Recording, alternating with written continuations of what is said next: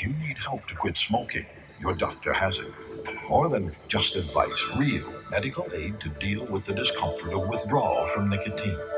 So see your doctor.